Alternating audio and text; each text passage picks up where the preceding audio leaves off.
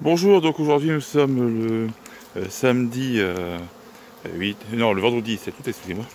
Et là je vous montre un petit peu quelque chose que j'aime pas faire. Et si on ne le fait pas, on passe pour un mauvais apiculteur, c'est le léchage des os. Donc il y en a qui mettent les os à lécher dans leur jardin. Il faut un grand jardin parce que sinon vous voyez déjà l'effervescence ici. Ce moi là j'ai pratiqué euh, deux méthodes.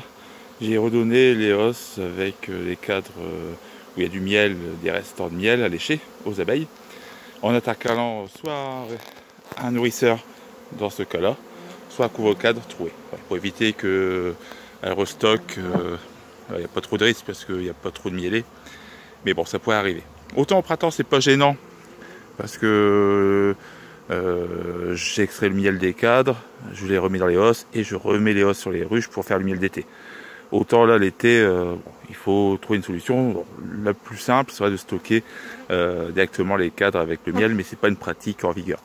Alors, je vais vous montrer un petit peu les conséquences. C'est vraiment ici, euh, je viens de mettre il y a 5 minutes les hausses et elles sont hyper énervées sur ces deux ruches là.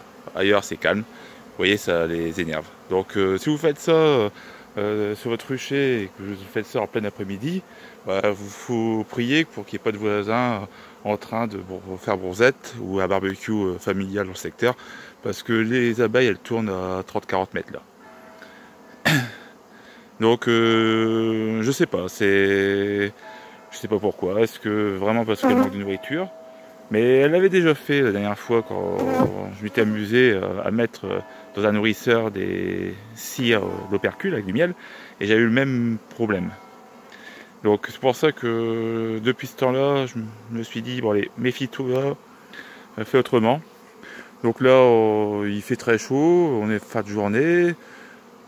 Ah, dans peu de temps, euh, il va faire noir, donc là, normalement, ça devrait se calmer. Demain matin, ça devrait être bon. Mais voilà, c'est pas forcément évident de trouver une solution pour, on va dire, nettoyer les, les cadres, entre guillemets. Bon, là, je l'ai fait, c'est pour que les abeilles profitent de ce restant de miel et puissent euh, refaire quelques petites réserves.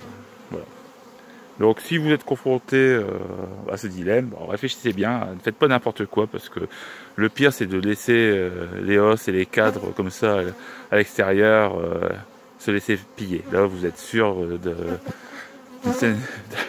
que ce sera vraiment la pagaille mais une horreur. Voilà.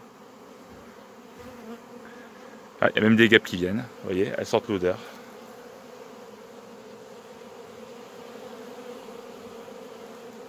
Ça attire vraiment de tout. Et même les autruches, vous voyez, alors que pourtant tout à l'heure, elles ne sortaient pas trop. Là, elles sortent qu'il y a quelque chose. Donc elles doivent sortir l'odeur du miel. Et bon, les cadres étaient avec les hostes dans le sous-sol j'ai pas eu de problème. Et là, honnêtement, euh, en allant chercher la dernière hausse, il y avait déjà une dizaine d'abeilles qui euh, tournaient dans le sous-sol. Donc vous voyez, euh, elles sortent le miel carrément, quasiment 40 mètres. Elles vous repèrent facilement. Vous suivez la trace. Bon, ça devrait se tasser d'ici une heure. Mais bon, méfiance, méfiance. Il ne s'agirait pas qu'il y ait, on va dire, des piqûres dans le voisinage. À bientôt.